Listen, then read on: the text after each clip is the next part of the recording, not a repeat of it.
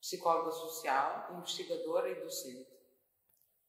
Eu vejo a independência como um momento de síntese importante para o povo cabo-verdiano, porque foi a reivindicação, o resgate e a celebração daquilo que somos de melhor e que queremos que nos defina como povo.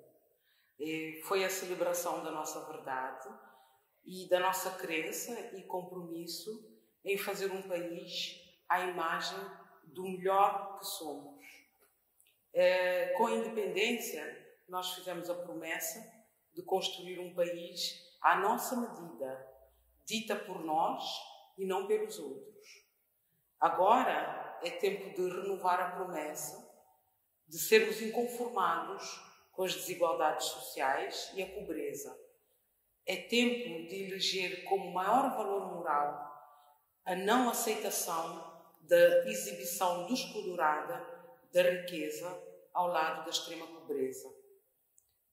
É tempo de assumirmos um compromisso de fazer uh, com que não seja aceitável haver tanta desigualdade no país. É tempo de pensar que um país que oferece bem-estar para todos é um país onde há menos discrepância entre ricos e pobres. É tempo de não aceitarmos essa grande diferença entre classes eh, mais ricas e os mais pobres. É tempo de assumirmos de vez a diáspora como uma parte do país, de assumirmos a diáspora como aquela parte do país que põe Cabo Verde no mundo, além de levar o mundo para Cabo Verde. É tempo de passarmos a ver a diáspora como aquela parte de Cabo Verde que traz o futuro, que traz a globalização para o país.